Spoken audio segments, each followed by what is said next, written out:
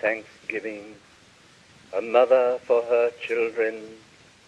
England mourns for her dead across the sea.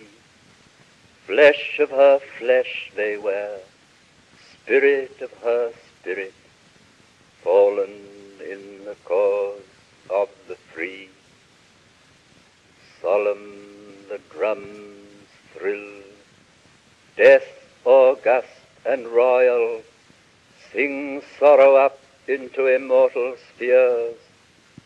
There is music in the midst of desolation, and a glory that shines upon our tears. They went with songs to the battle, they were young, straight of limb, true of eye, steady and aglow. They were staunch to the end against odds uncounted, they fell with their faces to the foe. They shall grow not old, as we that are left grow old. Age shall not weary them, nor the years condemn. At the going down of the sun, and in the morning, we will remember them. They mingle not with their laughing comrades again.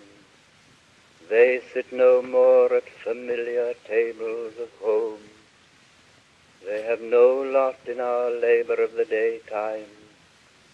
They sleep beyond England's foam.